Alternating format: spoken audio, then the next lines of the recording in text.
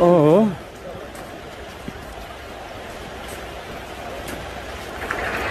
All right.